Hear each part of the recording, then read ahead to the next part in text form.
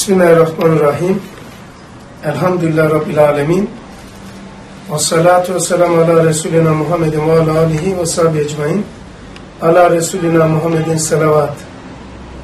Korku, konumuz korku. Bu asırda evirip devirip çeviren, insanları perişan eden bir sistem. Yani bu sistemdir, sistemin adıdır. Korku aklidir, havf kalbidir. Ee, korktuğu şey safsatadan ibaret ise, hayal, hayal ürünü ise bu korku tahayyüldendir.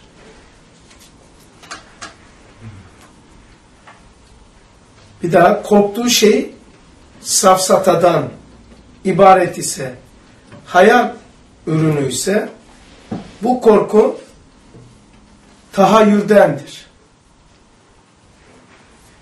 Tasavvurun da var. Tasavvur zaten kökeni. Yani bulunduğu yer tasavvurdur. Tahayyülden sonra tasavvura gitmiyor mu? Evet. Ama üst tabakada olduğu için altı zaten otomatik var yani üniversite diplomasında ilkokul olduğu gibi. Yani usulü bilmediğin zaman ortalık karışıyor. Şöyle diyeyim. O kadar mühim ki usul. Harun bunu çok önemli. Not alabilirsin şu anda söyleyeceğim. Ee, hepiniz de bilmeniz lazım. Şimdi zatın zat var ya Cenab-ı Hak. Cenab-ı Hakk'ın mahiyeti zatiyesi var. Mahiyeti zatiyesi var. Sonra şunat zatiyesi var. Sonra ha? Sonra Esma var. esma. Bu bildik ne oldu? Kuru bir, bilgi mi? Tabi anlatmak istemiyoruz değerlerini. Bunu bilmemekten Hristiyanlık çıktı. Yani e, tasnif edememekten. Testis akidesi buradan çıktı. Bunu bilmemekten çıktı. Esma, sıfat, şuunatı ayırt edememekten çıkmış. Yani usul o kadar çok önemli.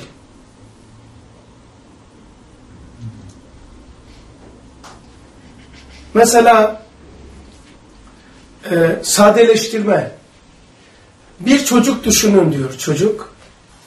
Bu çocuğu terbiye yapacağız. Bu çocuğa bir muamele yapacağız.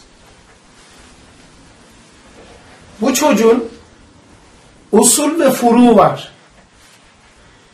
Yani usul ve furu, nesebi ve soyu nazara alınmadan muamele etmek neye benziyor biliyor musun?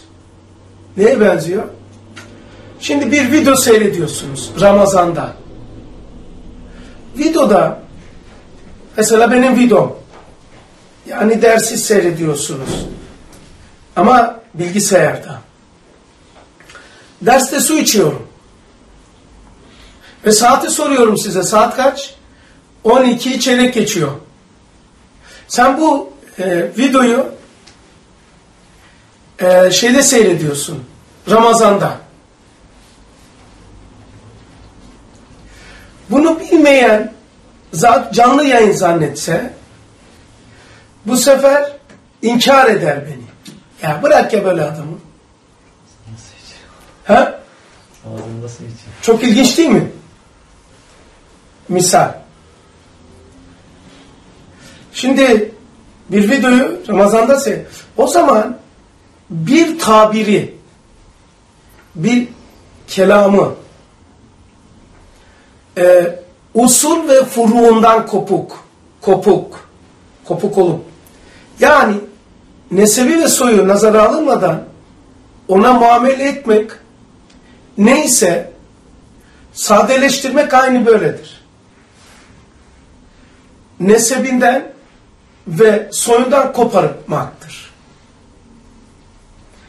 Diğer tabirle de nokta istinadı ki dayanak noktası Allah ile yani geliş yönünü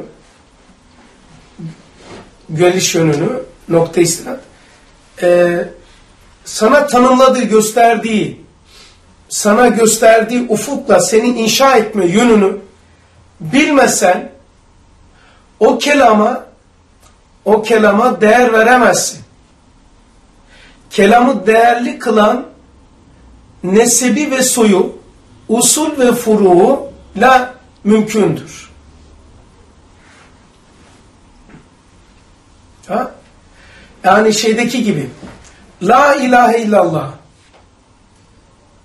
La ilahe uluhiyete bakar illallah rububiyete bakar. Şirk ve küfür gibi yani. Ee, şey e, küfür Allah'ı inkar etmektir. Şirk ise peygamberi inkar etmektir. Çok ilginçtir. Masamda 22. defteri getirir misin? Yani korku ve haf bu kadar niçin uzattın? Korku ve haf çok önemli. Bugün bugün insanlığı inim inim inleten e, en büyük sebeplerden bir tanesi korkunun çapını genişletmek için söyledim. Korkunun kaynağını bilemezseniz, e, çözümünü bilemezsiniz. O zaman çarnaçar, aciz olarak aklı devre dişi yapan ilaçlara mahkum edersiniz insanları. Bak, bu son cümleyi çok önemliydi.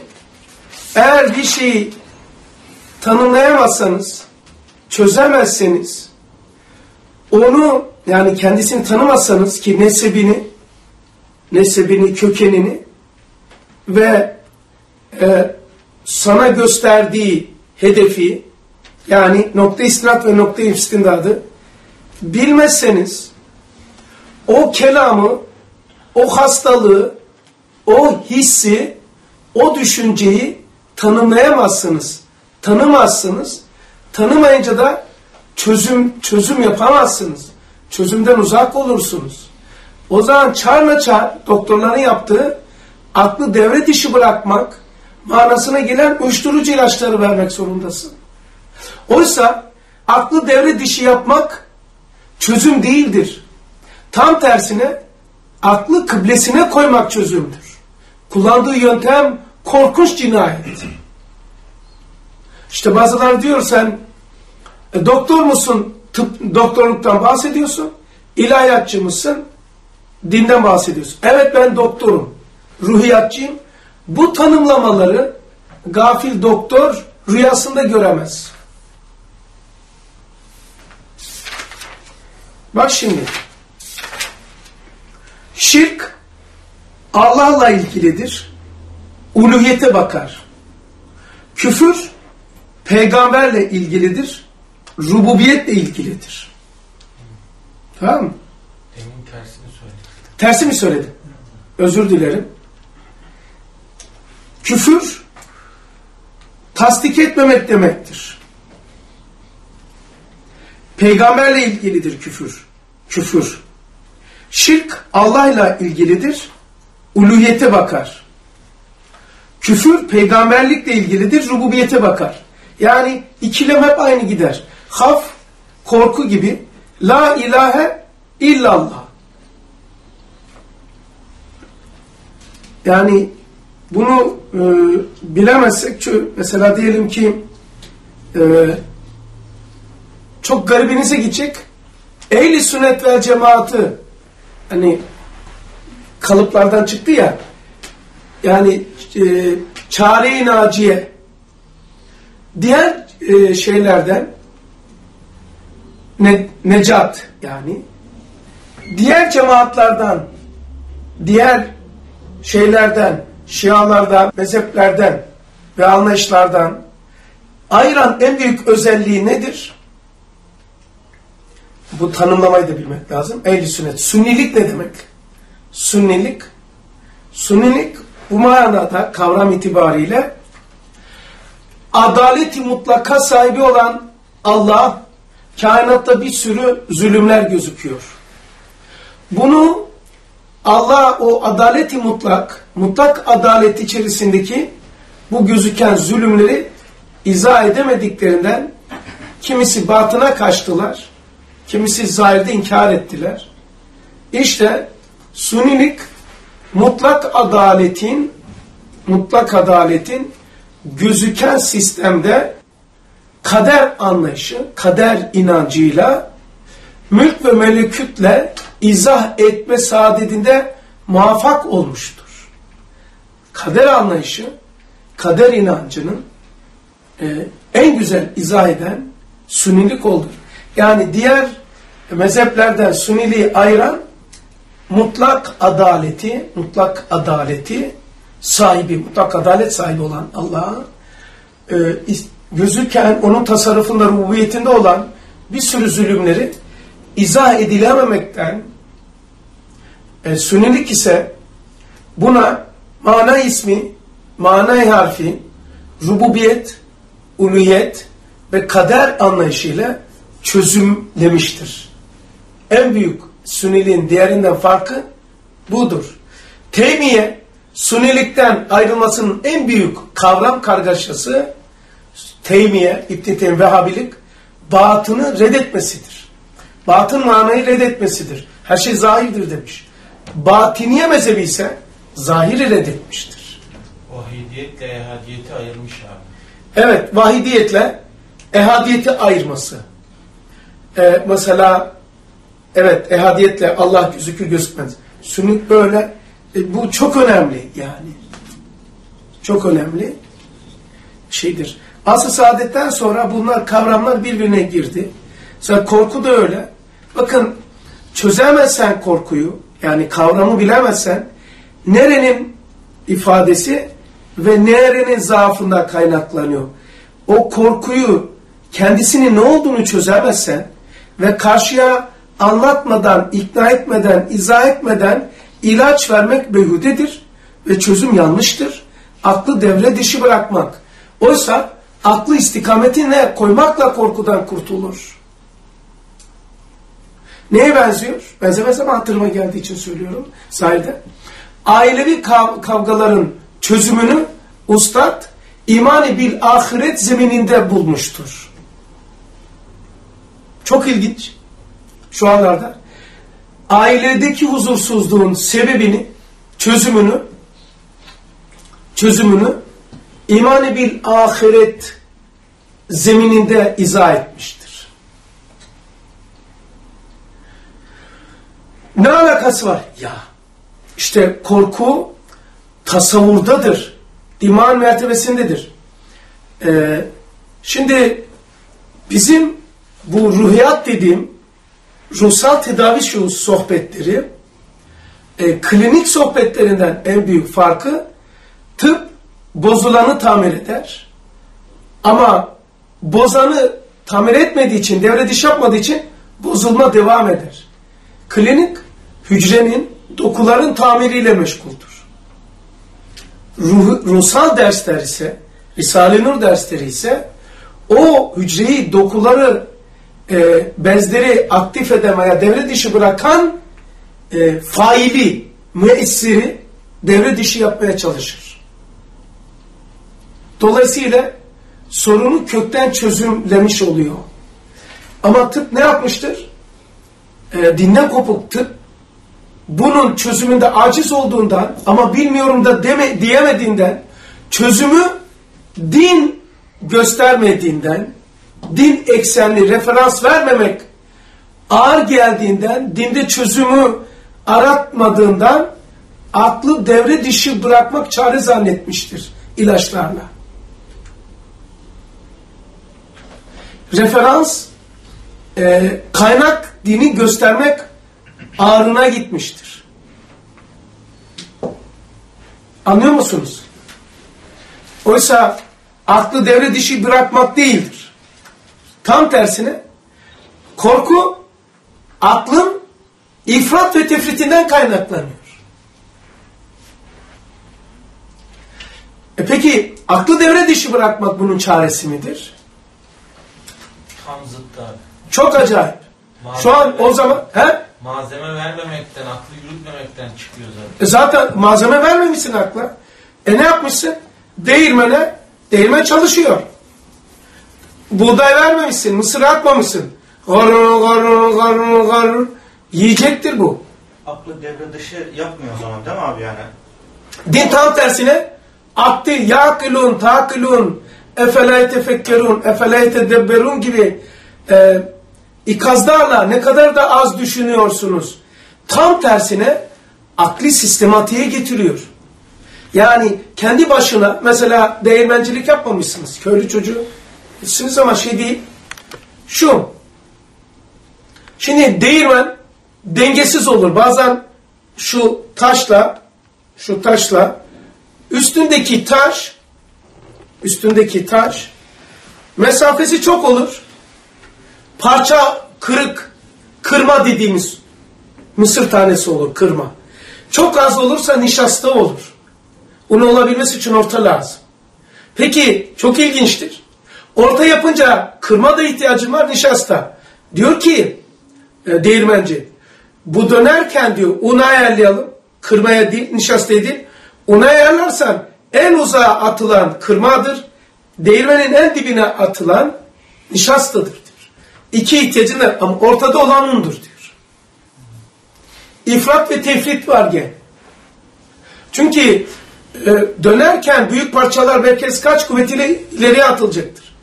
Tozların kütlesi küçük olduğundan atılamayacağından dibe düşecektir. Al sana nişasta, al sana kırma. Ha? Un da ortadadır. Aklı yani bu yedi tane ki bir kere klinik konuşmalarında kafada akıl vardır, diğerleri detaydır. Ustad Bediüzzaman Hazretleri dimada yedi mertebe getiriyor. Tahayyül, tasavvur, taakkul, tasdik, izan, iltizam, itikat. Bunlar birbirinin üzerine bindirilmiş değirmene benzetiyorum ben. Ee, yedi tane değirmene tane atmadığınızı düşünün. Birbir üzerine bindirmiş. Kimisi böyle, kimisi böyle, kimisi de böyle dönüyor. Kimisi buradan dönüyor, kimisi buradan dönüyor. Yani birbirinin üzerine bindirilmiş. Artık kıyameti, gümbürtüyü seyret o kafada. Temelde şey yapmıştır. Onun için bazen bana itham ediyorlar. Doktor musun ki? Doktorluktan konuşuyorum. Doktorların doktoruyum ben. La fah ve gurur. Burada tanımladığı ve tarif etmiş olduğum veya üzerime bindirilmiş o elbisenin hakkını vermek için söylüyorum. Dinden kopuk gafil doktorların doktoruyum. Bak şu şu kısa belki 10 dakika konuşmayı sen göremezsin bir yerde. Bak aklı devre dişi yapıyor. Ondandır ki 10 sene, 15 sene, 7 sene ilaç kullanmaya devam ediyor. Düşünebiliyor musunuz? Bir insan 10 sene, 15 sene ilaç nasıl kullanır? Korkuya devam ediyor. Bazı şiddetli bir e, itirazlara e, cevap vermeye mecbur oluyor. Bu tür üslup kullanmayı. Evet doktorların, kafir doktorların doktoruyum. Ben hoca değilim. Bu noktada. Bu noktada hoca değilim. Ben tabibim. Ruhsal tabibim. Şiddetli itirazlardan dolayı böyle bir şey ifade etme mecburiyetime başlam, başlarsınız yani. Demek zorunda kalıyor. Sen kimsin diyorlar da e, bak bunu nereden bilecek? Korktuğun şey safsatadan ibaretse korkunun kaynağı hayali kullanamamaktan geliyor. Korkunun kaynağı Tahayyüldür. tahayyül. Mantıksız korku ise 1 bölü 50 diyelim. Yani insaf nısıftan geliyor. Nısıf yarılamak demek. Yüzde 50. Yani mantıksız korku 50'de bir ihtimal ise bu korku tasavvurdadır. İnsafsız. Yani yüzde 50'ye gelmiş. Hadiisteki kayıp meselesi. Evet. Haliç'teki kayıplar, kayıplardan çıkartıyoruz. Yani veya o tür yerlerden çıkartıyoruz. Benim işim bu ya- yani. O kadar fazla uyumam ben ya. Çalışıyorum. Dersimi çalışıyorum. Abi hayali nasıl kullanacağız? Baktığın zaman her şey yani e, en önemlisi o. En Evet. de o yani. Bir hayali nasıl kullanacaktan önce şu soru sorulması lazım. Hayal nedir? Hayali bilmiyoruz. Ona ait dersimiz var bayağı. Bayağı hayal diye. Hayali tanımakla, tahayyülü tanı. Sistemin adı tahayyül. İçerideki e, işletim sistemi ise, yazılım ise hayaldir. Hay, al. Yani ölü duyguları, fikirleri, hisleri, ölü haletleri içine koy dirilsin. Hayatlanan yerdir. Hay, hay olan yerdir. Ölülerin dirildiği yerdir. Tasavvurdaysa, Ama şimdi bak ne oldu? tasavvurdaysa yüzde elli Tasavvurda yüzde elli. tehlike varsa.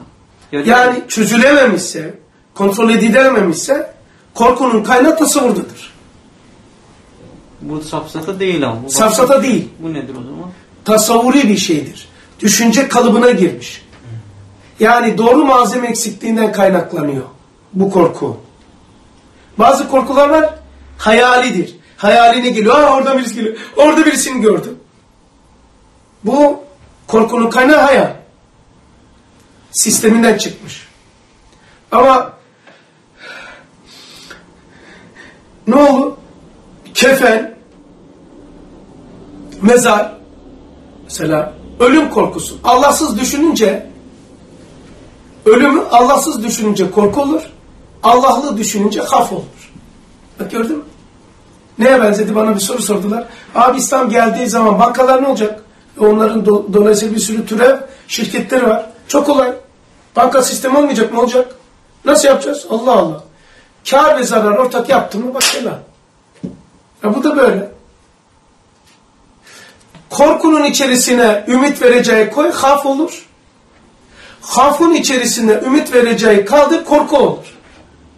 Allahsız kabri düşünürsen korku olur. Allah ile kabri düşünürsen hafullah olur. Alacağım soracağım. Sorunu alacağım. Haf ise haf, şey, hafullah'ta ise hafta lezzet vardır. Yani e, lezzetli korku. Efendim Yasin. Cehennemden e, korkmak hafullah'a mı girer yoksa korkmak o Cehennemde haf edersen hafullah olur. Cehennemden korkarsan korku olur. Ama sen Kur'an-ı Kerim'deki o hafı korku diye tercüme edersen bu olur işte başımıza kavram kargaşası çıkar. Nesebini, nesebi ortadan kaldırılmış bir kelime çıkar. Sadeleştirme budur. Yani Kur'an'da metin itibariyle haf geçiyor. Haf Allah ile bakarak ancak izah edilen bir şeydir. Sen o hafı korku diye tercüme edersen, sadeleştirirsen nesebini kaldırdın. Yani Allah ile ilişkisini kesince haf korku olur. Korku Allahsız düşünmektir. İçinde ümit ve reca olmayandır. Ümitsiz, reca, recasız haf yoktur. Yani bir sadeleştirmeye ondan girdim zaten. Bodoslama girdim gibi gözüküyor ama sadeleştirme böyle bir caniliktir. Sadeleştirme şuna e, sadeleştirme değil, lugat anlamı vermek bile bunu katlediyor ya katlediyor tabii. Artık sen bak ben şunu vereyim sana şey. Sadeleştirmek aslında alakasını kaynağından kesmektir.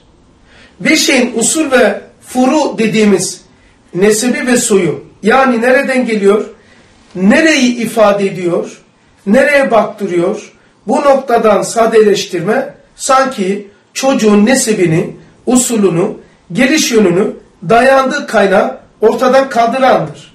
Nereye baktırıyor, nereyi inşa ediyor yönü de, yönüyle de insanın istidat ve kabiliyetin, kabiliyetlerini, bak nereye baktırıyor, nereyi inşa, inşa ediyor yönüyle de insanın istidat ve kabiliyetlerini kıblesine kıblesini tayin ediyor. Yani bir kelamın nesebi soyu. Yani nokta istinat bak yas, yaslandı baktı. İnsan kökeni Allah'tır. İstidat ve kabiliyetlerinin beka istiyor, evet istiyor, sonsuzluk istiyor. Yani bu istek, içsel yapısının gösterdiği, ifade ettiği, işaret ettiği, parmağıyla gösterdiği alem ahirettir.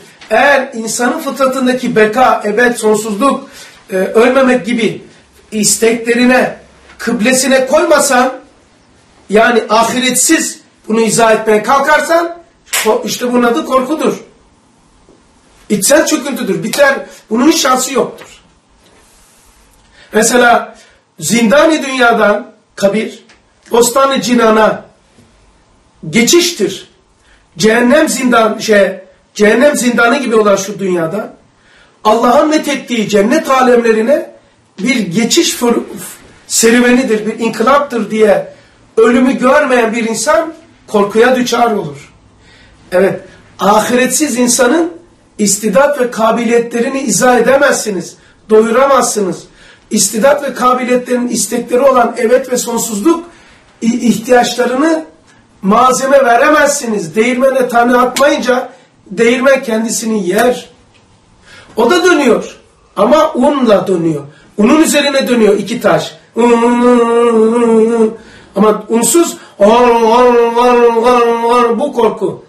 Un, de, tane atarsan bu da dönüyor ama taş taşın üzerine dönmüyor. Malzeme üzerine dönüyor. Tanede maksat ilimdir, doğru malzemedir, doğru yerde olmaktır.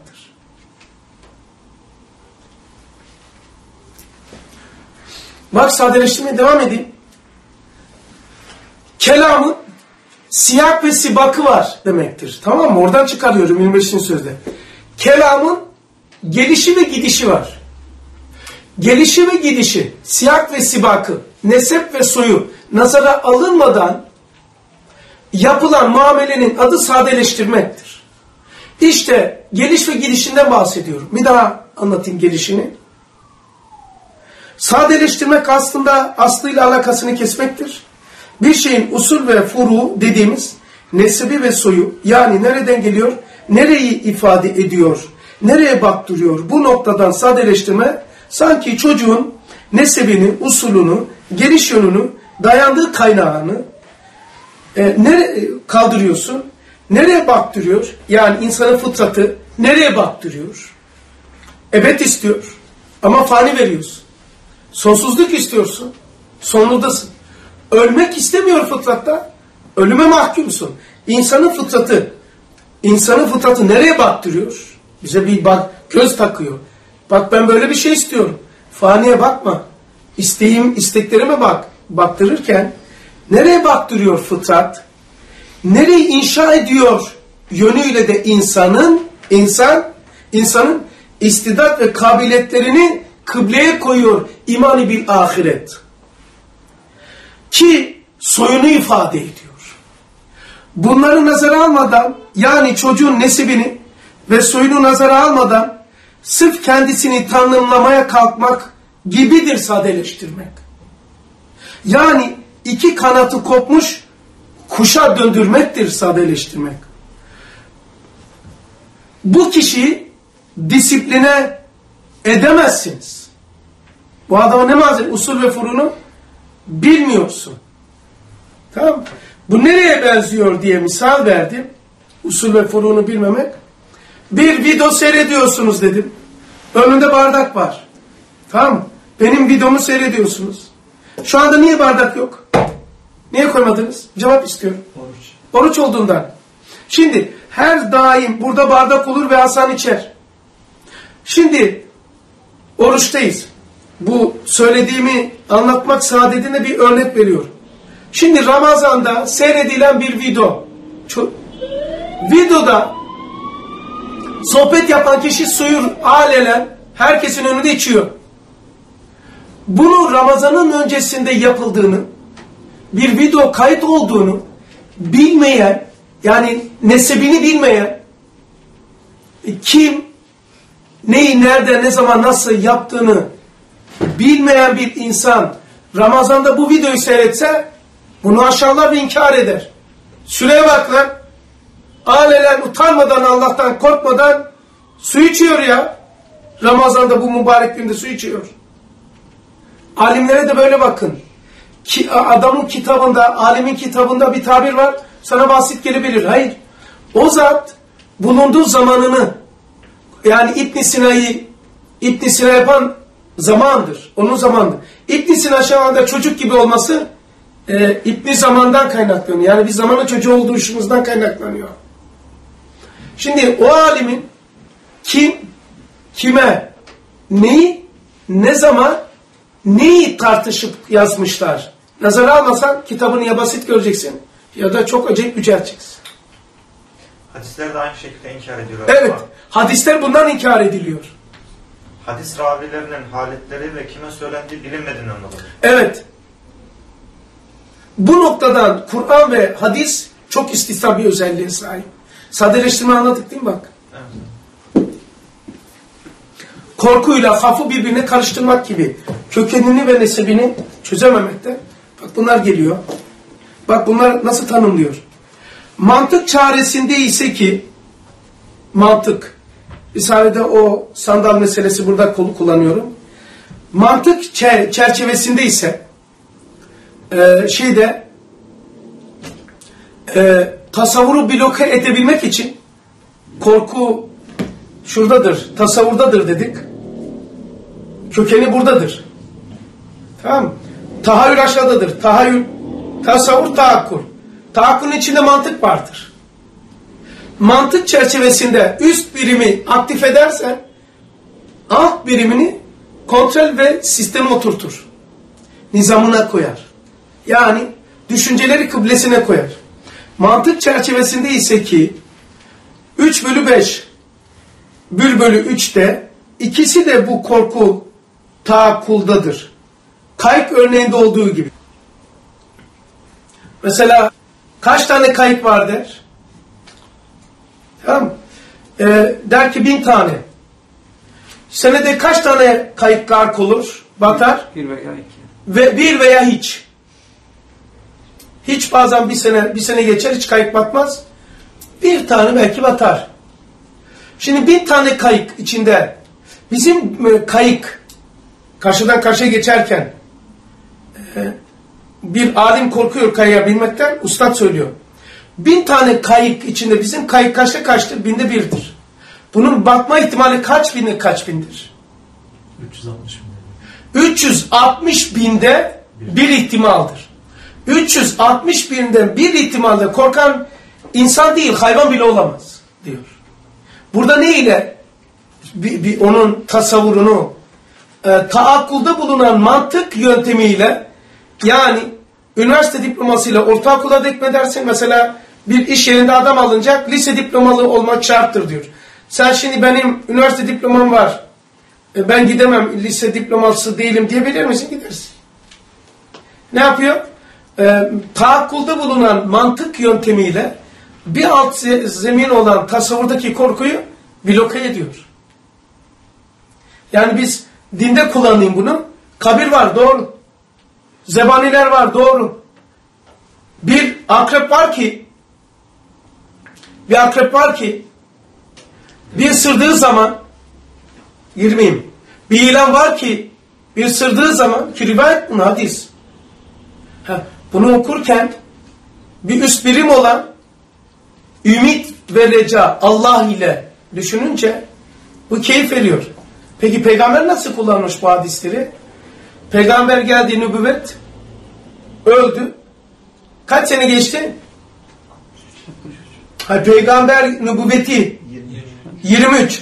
23 senede sohbet ederken o sevgili peygamber aleyhissalatü vesselam yemek yaparken lazım olduğu kadar yemeğe tuz katmış. Tek başına tuz yenmez. Yemeği içinde de çok güzel olur. Bir saatlik sohbete iki dakika haf koydu. Haf yani tuz. Başka bir sohbette, bir saatlik sohbetinde birkaç dakika, 3-5 dakika korkuyu soktu. Sen bu 23 senedeki sohbetini bu kadar ümit ve reca sohbetleri içinde korkuları toplayıp bir kitap haline getirip basıp da bir insana verirsen kafir için söylenen korkuyu, gafil için söylenen Allah'tan kopuk olan ve bütün bütünlük içindeki o korkuyu tek tek cımbızla alıp bir kitap haline getirip de insanlara takdim edersen o kalp krizi geçirir ve ruh dumura uğrar. Onun için korkuyla, kabir korkusuyla alakalı sif kitap okumak insanlarda müthiş bir güven sorunu yaşar kendisiyle. Allah ile ve ahireti ümitle ödü patlar. Onun için burada ne çıkıyor kavram kargaşasından kurtulmak için? Ama korkutmadan da olmuyor. Korkutsan da şey vesaire. Ne yapacağız peki? Çare- Çaresi ve çözümü nedir? Asrın imamları burada iş yapıyor.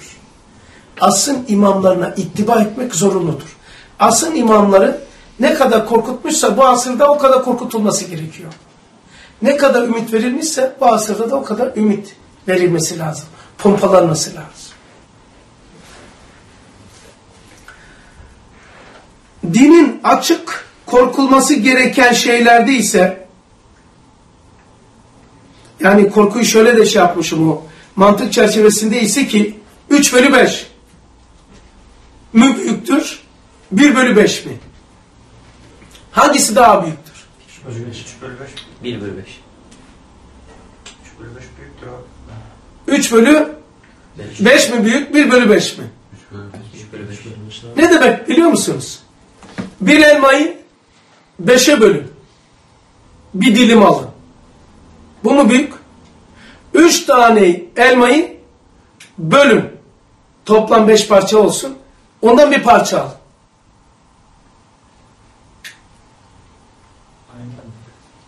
Aynı mı? 3 bölü 5 büyüktür abi. Tamam. Evet, nasıl mektep okudunuz? Ben Lazcasını da söyledim. Üç tane elma düşün. Bir, iki, üç tane. Bu elmaları eşit oranla beşe bölün. Toplamı. Üç taneyi beşe böleceksin. Beş parça olacak. Ama toplam elma sayısı üç. Beşe bölün. Bir elmayı beşe bölün. Ve bir dilim alın. Beşte birini alın. Tamam mı? Peki. Dinin açık korkulması gereken şeylerde ise bu korku ta- tasdiktedir. Dinin Allah'ın dediği korku, mesela namazsızlıktan korkun, şirkten korkun, zekat vermekten korkun. Ki Allah şöyle diyor bir manada, e, bir şey, o korktuğun şeylerden korkmayın diyor, bir mana söylüyor. Benden korkun diyor, hafedin. Eğer bunun bedeli şudur. Allah'tan gereği gibi korkmamak bu sefer Allah'ın dışındaki şeylerden korkmaya mahkum olacaksın. Onlarda da merhamet yoktur. Korkunun sebebini bak ne gösteriyor. Allah'tan korkmayanların ölümden korkması ölümden korkması kaçınılmazdır. Abi korkmuyor muyuz? Allah'tan korksan tesettürün olurdu. Allah'tan korksan namazın olurdu. Allah'tan korksaydın o dizileri seyretmezdin. Fiil budur. Yani çektiklerimiz verdiğimiz mesa mesajlardır. Zanlarımız kaderimizi oluşturuyor veya kader zeminidir. Çünkü Allah şöyle bir vaadi var. Benden hakkıyla korkarsanız hakkıyla benim dışımdaki şeylerle korkutmam sizi. Eğer ben benden hakkıyla korkmazsanız ki onun alameti peygamberin sünnetine uymaktır. Eğer beni seviyorsanız, bana imanınız varsa beni seveceksiniz. Bana, beni sevmek demek sevdiğime uymalısınız diyor. Habibime uyun. Habibine uymak nispetinde Allah'tan korkuyorsun demektir. Habibine uyma nispetinde Allah'tan korkuyorsun. Habibine uymama nispetinde Allah'tan korkmuyorsun. Bedeli nedir? Allah'tan hakkıyla korkmamanın bedeli Allah'ın dışındaki şeylerle acımasız, merhametsiz korkmaktır. Gayrimeşru muhabbetin neticesi nedir? Merhametsiz azap çekmektir. Ya. Sistem kardeşim. Hep sistem dikkat ediyor musunuz? Bu yoksa bu vardır. Haf yoksa korku, korku yoksa korku. Yani hep sistem. Dikkat eder. Benim derslerde dikkat ediyorsanız. Sistem nasıl çalışıyor? Peygambere de avama da böyle çalışıyor. Sistem. Değirmene tane atarsan alim, cahil de atarsa aynıdır. Değirmen sistemdir. Sistem. Demek ki, bak bir de okuyayım şurada. Dinin açık korkulması gereken şeylerde ise korku tasdiktedir. Tahayyül, tasavvur, tahakkul, tasdik. Eğer dinin açık konularda korkun dediği şeylerde şirkten korkun diyor. Bu tasdiktir.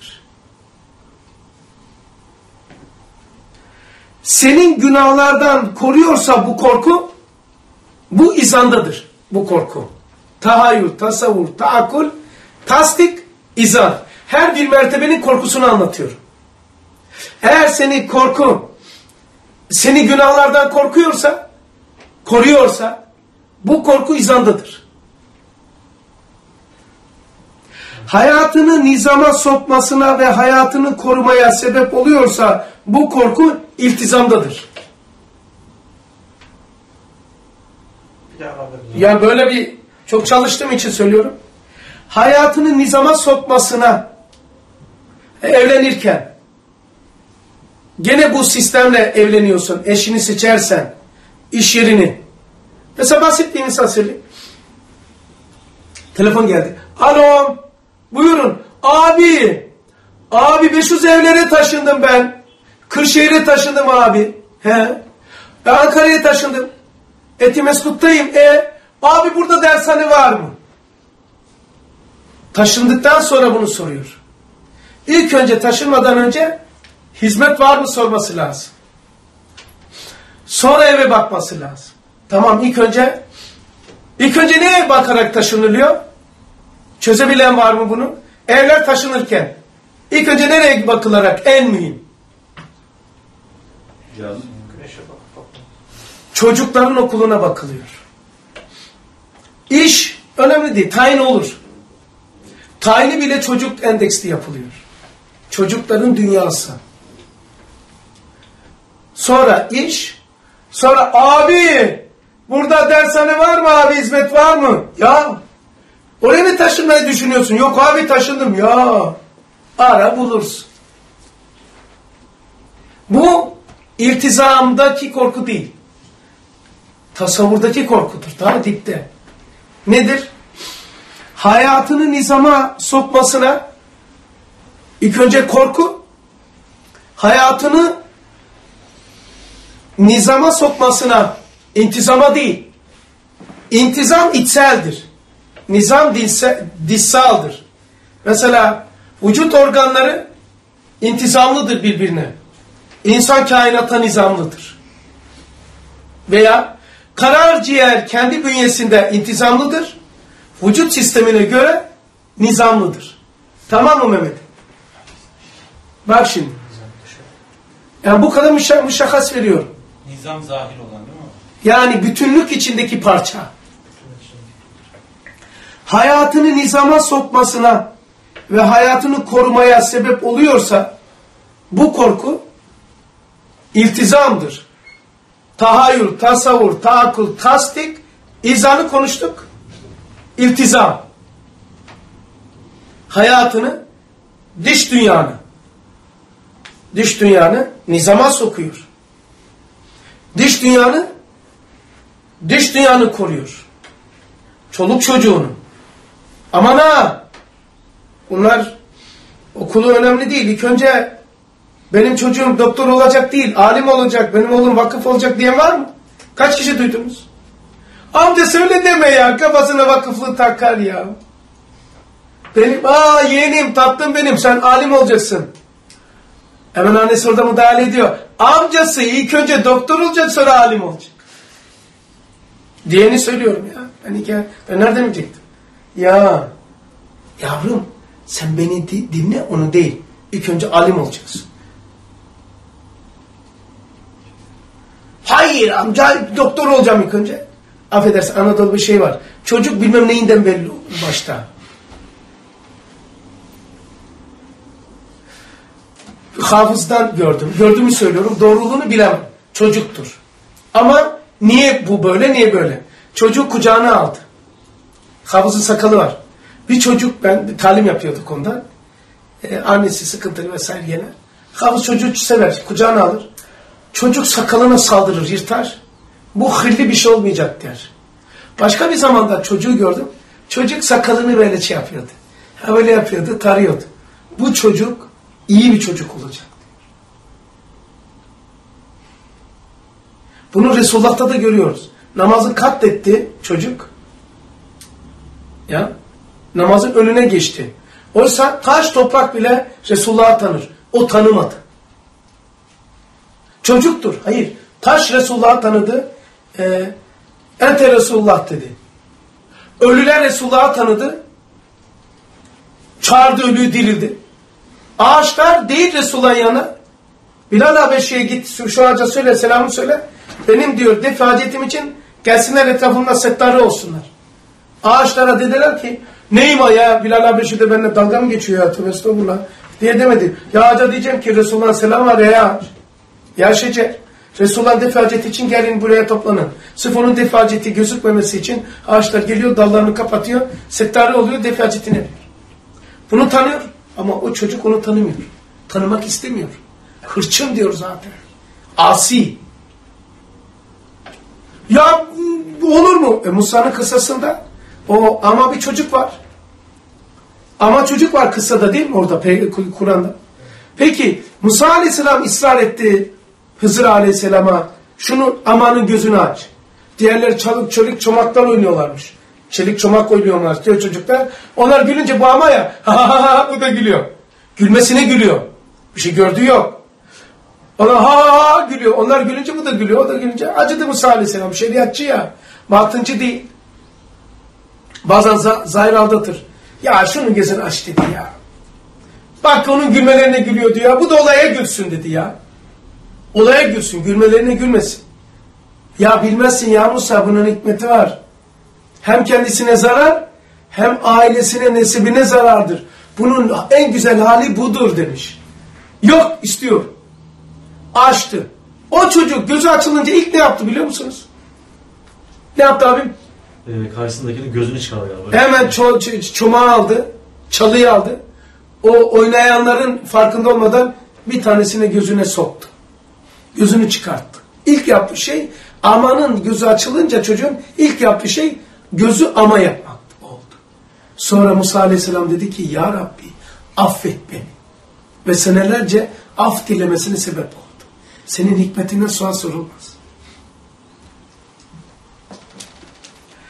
İltizamdaki korkuyu konuştuk.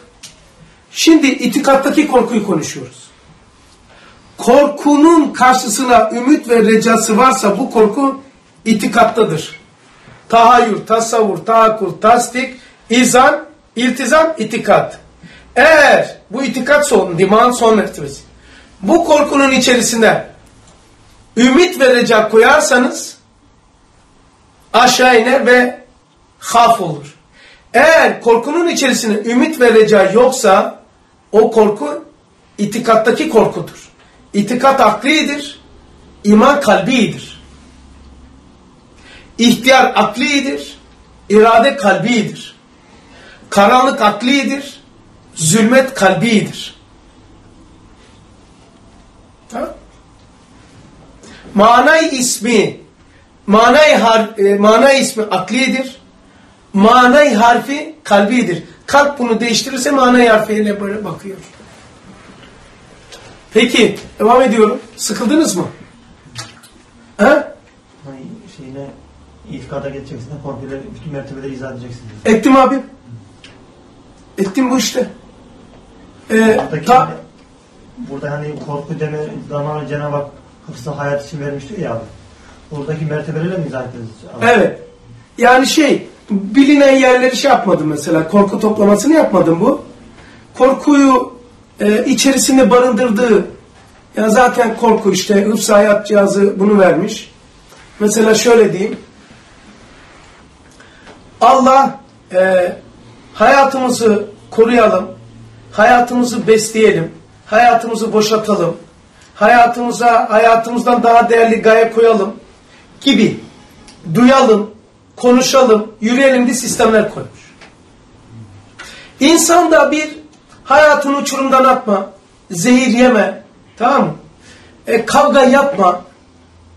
E, mesela hayatını korumak adına bir cihaz takmış bize.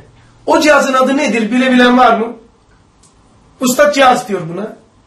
Hadi ağzımda benim. Kastamonu'da. Heh, tebrik ederim Resulüm. Allah razı olsun. Fuzuli tebrik yapmadım. Hıfzı hayat cihazı bozulunca sistem bozulmuş eksi 5 derece soğuğu artı 5 gösterir. Yani dünyayı fani baki görür. Bütün detayını kendiyle meşgul edin. Bütün detaylı kendisiyle meşgul. Hıfzı hayat cihazı bozulunca bu korku bu yedi tane sistemi tahayyülde, tasavvurda, taakulde, tasdike, izanda, iltizamda, itikatta dümura oluyor. Hıfzı hayat cihazı insana takılmış. Minareden atma kendini, zehir içme kendini. Tamam. Koru kendini ya. İkide birine çıkma. Hastalandın git tedavi ettir. Sebebi bu. Bundan kaynaklanıyor. Bu ifrat çalışırsa acillerden çıkmaz. Tefrit çalışırsa sebeplerine riayet etmez. Hıfzı hayat cihazı. En ufak şeyden hiçbir şey yokken aman ha, ölüyorum. Hıfzı hayat cihazı ifrattadır. Adam aha mesela şu içiyorlar ya esrar, ereğin. Yani çok iyi biliyor. Esrar içen ve sigara içenler derecesine göre hıfzı hayat cihazı tefrit mertebesindedir. Geçen hatta birisi gelmiş de malum yani. Diyor üç günüm kaldı, iki günüm kaldı diyordu. Bana mı demiş? Ha evet. Abi buradaydınız da sen, sen, sen hatırlattın. Ben korktum abi. Hoş geldin böyle demedik ki aşağıda. Gözler bitmiş. Düşünceden iskeletotlu imparator olmuş. Kaç kiloymuş biliyor musun o? 104 kiloymuş. Sonra 4, 90 küsüre düşmüş. Şimdi kemikten göz bakıyor. Ondan sonra oh, gözden çıkmış. Abi, abi. Şöyle, hayır ne oldu? Bir şey aslan mı kovaladın lan? Hatırladın mı? Yukarıda. Abi, bu seninle son görüşmemiz. Aa, ya peki ne? Nereye gidiyorsun bir gidiyorsun? Abi, üç günüm kaldı. Şu üç günü de hesaplamış. Şu kadar saat. Ben vedalaşmaya geldim. Nereye gidiyorsun o zaman şimdi? Memlekete git mezarımı kazdıracağım şimdi. Gitmiş kazdırmış. Sonra Oldu olacak abi cenaze namazını da kıldırsın. ne yaptım biliyor musun? Şimdi bir tane çıktım. Yatın her şeye.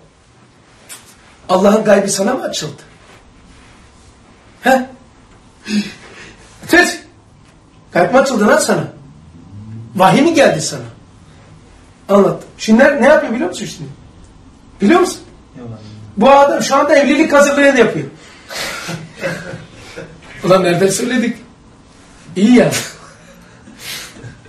O, o hedefini, ölüm hedefini kaldırdık. Ümit koyduk. Reca koyduk. Ümit koyduk. İlaç.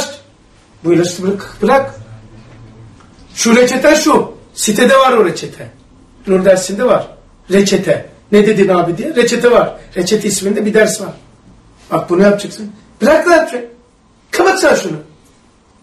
Tamam abi. Üç günmüş. Vay mı geldi lan sana? Ondan sonra. Hatırlarsın değil mi Mehmet kendini sende? İyi değil mi? Abi geçtin değil mi geçmişine? Baktı Mehmet kağıt gibi gelmiş. Mehmet evlenmedi de elhamdülillah. Şimdi kalksan bak şimdi benden daha kilolusun. Kaç kilosun? 28. 70. Aynıyız. 76'yım. Ben 76, 78. Tamam. Aynıyız bak. O zaman neydin ya?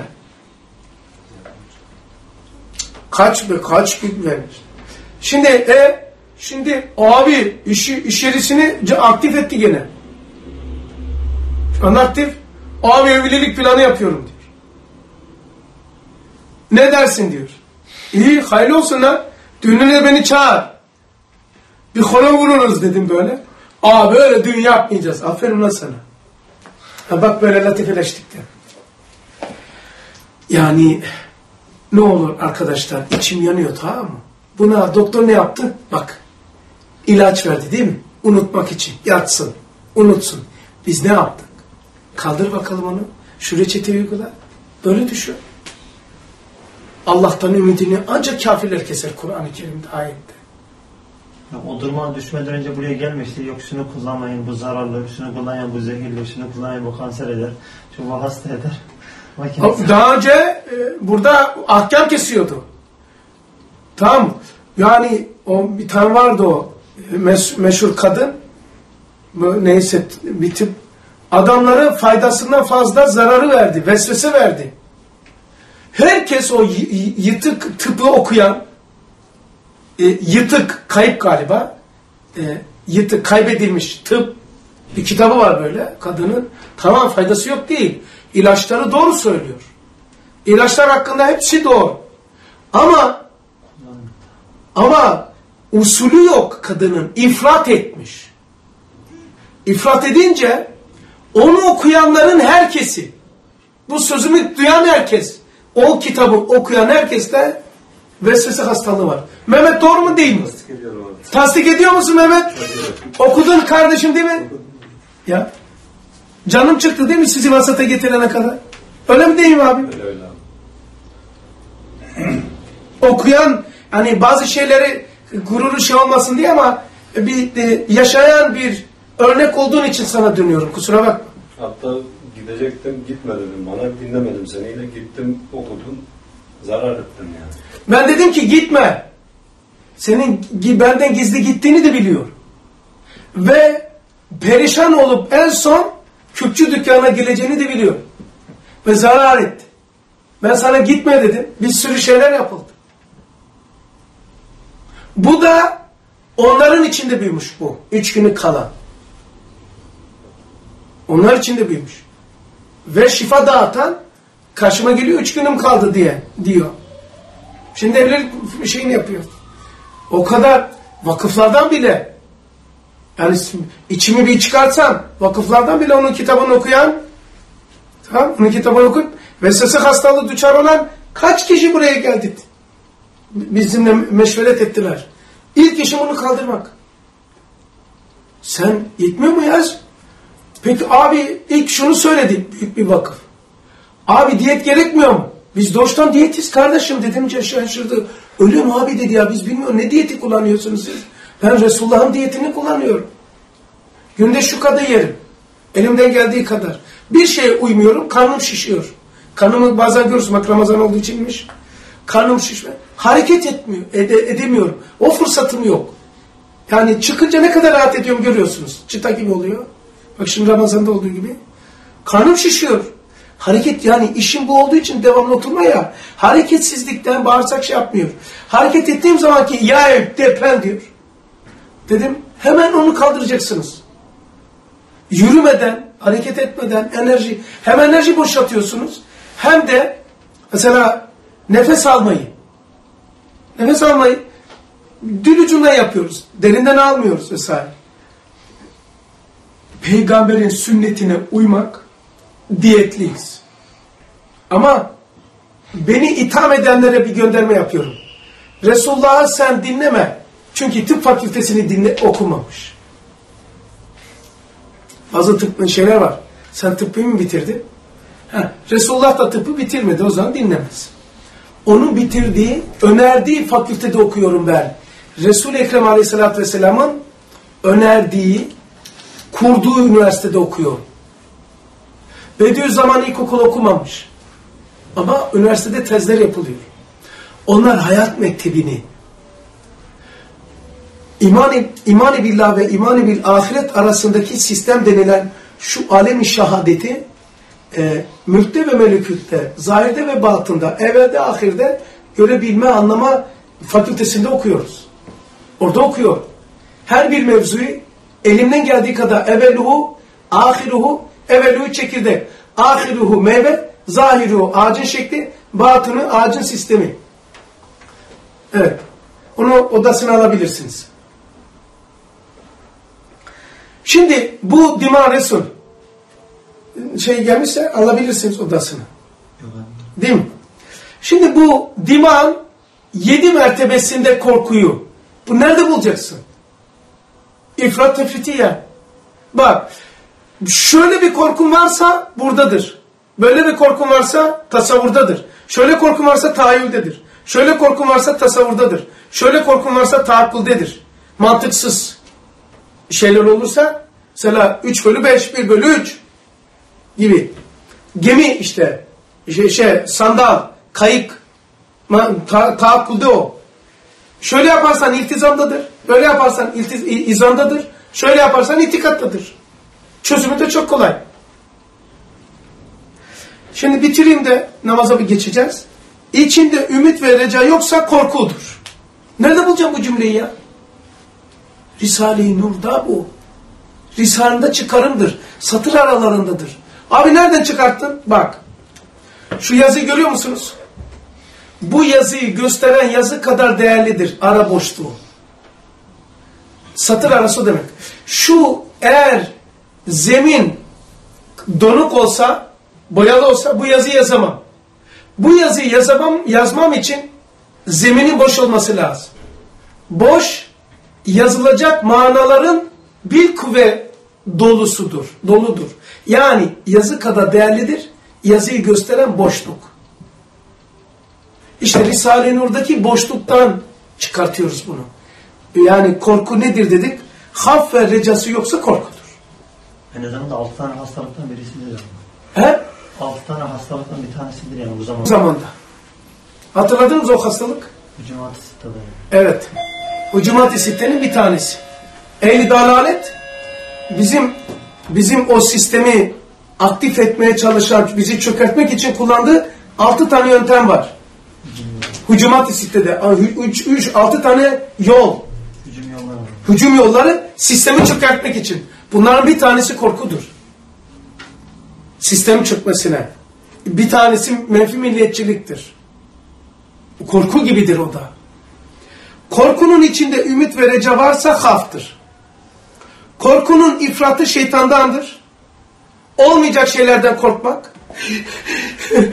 Galiba kalp krizi geçiriyor. Abi, abi acildeyim abi acildeyim. İçine beni içine alacaklar abi. Abi kalp krizi geçiriyorum. Sus sen. Kalp krizi geçiren konuşamaz benimle.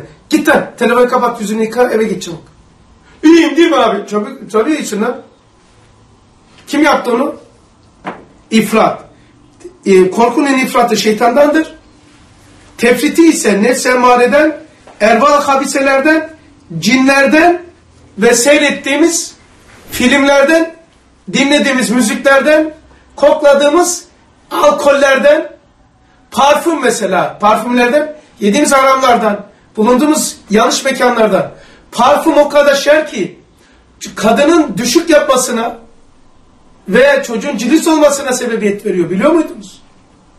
Parfümün içinde, hele Türkiye'de satılan parfümlerin içerisine öyle bir maddeler koyuyorlar ki düşük olsun veya birinci sebep e, hamile olamazsın. Hamile kalamazsın. Kalırsa düşük olsun. Düşükler niye çoğaldı? Koltuk altına şey koku sürüyor. Bilmem ne yapıyor. İmam Ali diyor ki radıyallahu Ko, e, kirli çamaşıra koku değil, sabun lazım. Niye şişt yapıyorsun? Git yıka. Niye tuvalete burnunu aldatmak için koku aldatıcı koyuyorsun? Allah burnunu koydu ki tuvaleti git temizle. Sen bunu aldatmakla ciğere giren pis koku yok olmuş oluyor. Git orayı temizle. Niye oraya aldatıyorsun pis koku? Tuvaletlere gittiğim zaman korkular asılı. Hemen tutup koparıyorum. Ev sahibine diyorum ki poşeti getir bunu atalım.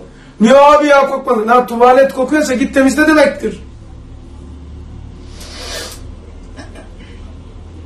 E peki abi bazen diyor e, şehirde biz büyük binaların aşağıda olduğumuzdan dolayı alt katta delikten pis koku geliyor. Ecdat ne yapmış? Bir tane tahta yapmış, bir tane sopa. Tamam o deliğe tak, tuvaleti bitirdikten sonra koyarmış için. Şeyin. Tamam. Hani var ya deliğe, delik çapında üstten tutunca tak bitti. Abi ne derler? Zaten hayata ne derler diye uçuruma gitmiş. Ne yapmam gerekeni odaklanmamışsın. Ne derlere odaklanmışsın. Tefriti neti, nasıl netice veriyor onu şey yapın. Tefriti de hiç esbabına riayet etmiyor. Mesela ifratı şu. Şeytandandır. Olmayacak şeyi büyütür. Tefriti ise içsel çöküntü. Odadan girip çıkmaz. Ondan sonra ay öyle sigara müptelası, dizi müptelası. E, tamam. Oynamaz yani. Batsa, bitse, ulan gidiyor lan ömür gidiyor. Hiç. Vasatı ise ifra, e, korkunun vasatı ise dinlerdendir. Hasan abi cinlerden dediniz ya ervah habiseden tefriti. Yani sıfır Ee, değil. Bir şey diyeceğim. Daha önce de bu şeytan, cin, ervah habise beraber çalışıyor dedik. Hani ikisi nasıl birleşecek o zaman? Hani Şi- Şimdi bak, şeytan kalbe musallat olur. Ve vesvese yapar. Ne yapar eylem itibariyle? İmanı na imanlıya imansızsın der. Abdestliye abdestsizsin der. Bunu söyleyen şeytandır. Ve kalptedir. Vesvesedir. Cinler ve ervah habiseler veya ustadı mevadi şerire dediği yani seyrettiğimiz kötü filmlerde subliminal ee, ondan sonra e, izledi, iz- duyduğumuz müzikler, parfümler, koku, yediğimiz haramlar, dokunma ise bulunduğumuz yanlış mekanlarda insana yükleme olur. Yani içeriye malzeme girer bura- buralarda. Bunların oluşturduğu e, şeye, maddeye mevadi şerire, şerir madde. Bunun mümessillerine e, erva habisi denilir. İyi şey seyrettin, iyi şey dinledin, Kur'an, sohbet. İyi şeyleri kokladın, helal yedin, doğru yerde bulundun. Ona mevadi aliye, mümessilleri ervah aliye, insanda huzurlu olur. Bunun şey, sözler 246 da anlatıyor. Mevadi şeriliği anlatıyor. İnsanın istidadını bozan ve yanlış yollara sevk eden mevadi şerire ve onun sekenesi ve mümessili olan ervah habis ediyor. Aynı böyle geçiyor. Biz okumuyor muyuz bu Risale-i Nur? Ne diyor? Bir baksana ya. Ne diyor? Ve değil bunları ortaya çıkarmak, ortaya çıkaranları da mancınığa koyuyorlar. Mancınığa koyup ateşin içine atıyorlar. Ve insanların bu bu tip insanların yani bu ortaya çıkaran kişileri de insanlar istifade etmesin bunlardan diye onlara ateş çemberi yapıyorlar. Peygambere yaptıkları ambargo gibi. İnsanlar bu insana ulaşmasın, bu sohbetlere ulaşmasın diye et bağlarına kötülüyorlar. Kah dinimize zarar veriyor, kah Risale-i Nur'un sadakatine zıt, kah bilmem bir sürü uçurtma kuyruklar takarak insanların bu doğru bilgiye, korkunun tahayyülde, tasavvurda, taakkulde, tasdikte, izanda, iltizamda, itikatta nasıl olur? Çözümü nedir? Risale-i Nur endeksli çözümünden uzaklaştırmak için bir sürü kulp takılıyor. Sen hayvan olma. Eşek olursan semer vuran çok olur. Aklını kullan. Başkasına dayalı din olursa, Allah'ın kitabına bakmasa bu olur. Bedeli kim ödeyecek? Dünya ve ahirette sen ödeyeceksin. Bitireyim. Vazifesine odaklanmış insanda korku o nispetle olmaz. Vazifesine odaklanmış bir insanda vazife şinaslıkla o korku olmaz. Ha şey söyledik, bunu cin söyledik. Evet. Yani e, korkuyu, e, şeyin vesvese budur. Eğer korku ise daha tasavvurdadır. Bunlar cinler sol kulağında musallat oluyor. İçeri ille girmez, giremez. Ervah habise, ervah habise, mevadi şerire işte o dediğimiz yollardan girilen maddeler. Dolayısıyla eğer sen televizyonu uygunsuz şeyleri seyredersen, uygunsuz şeyleri e, dinlersen, parfümleri şey yaparsan neye benzer? Çiçek koy, cama aç, arı gelir. Pislik koy, cam aç, sinek gelir. Böyle bir kafaya cinler musallat olur. Tefriti onlardan oluyor. Tefriti bunlardan olur. Geçen derste de dedik ki bunlar zaten beraber çalışıyor.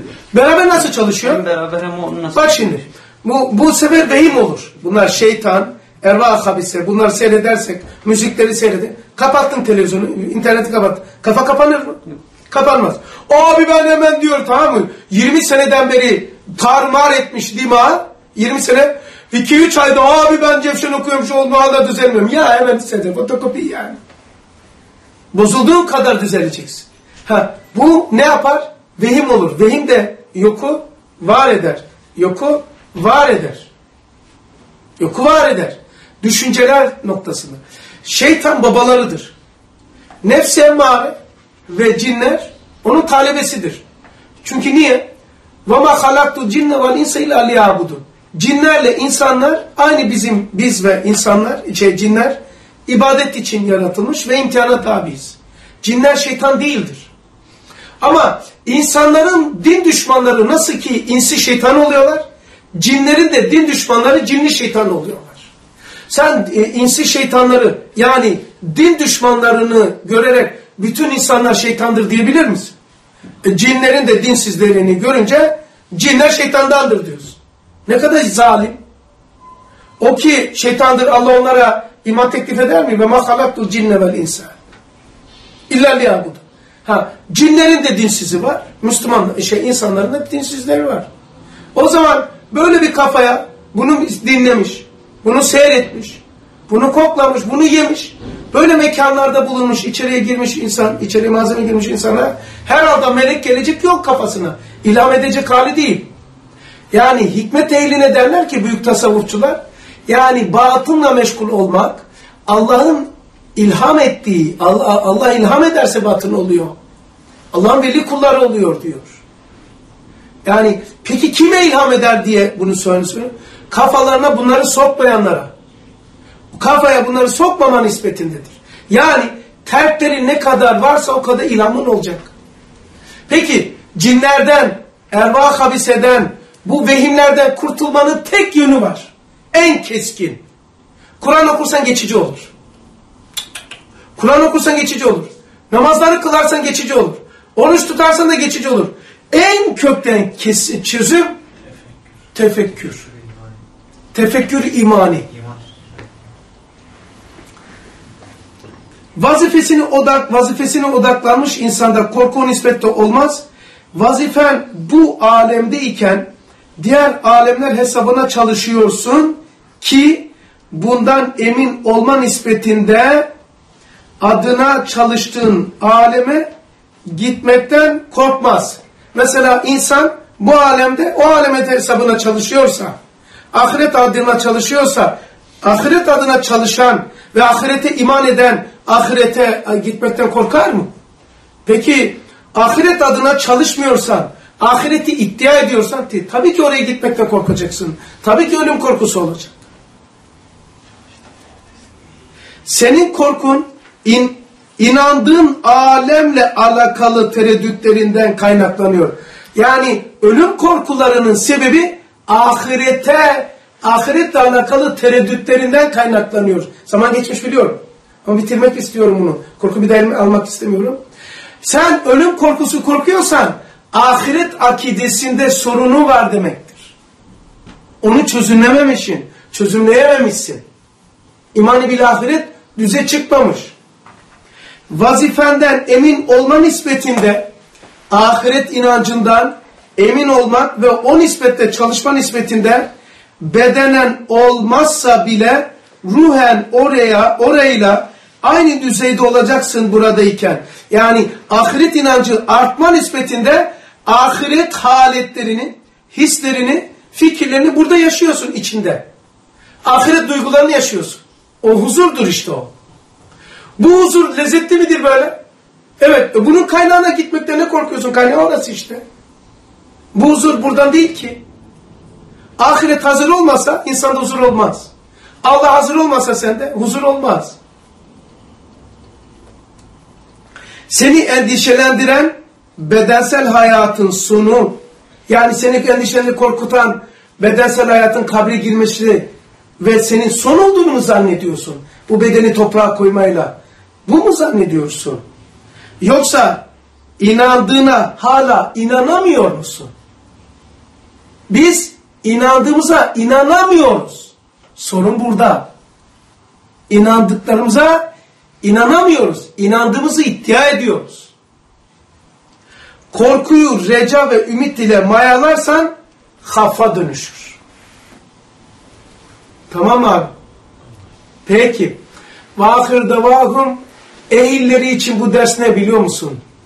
Ehilleri için bunu anlatan veya tedavi eden doktorlar için bu korku belasına düşenler için bu ders ders değil artık. İlaç, ilaç da değil. Bunu durup da not ala ala yazarsa ve yer yer okursa gündelik hayatta haftada birkaç defa kendi yazdığını böyle okur okursa Allah'ın izniyle korku denen bir şeysi olmaz. Tamam Ve e, terklerini yapması lazım. Haramları terk edecek. Şart başka yoktur. Haramların terk edene ilham gelir. İlham gelene tefekkür olur. Tefekkür her şeyin çözümüdür. El Fatiha.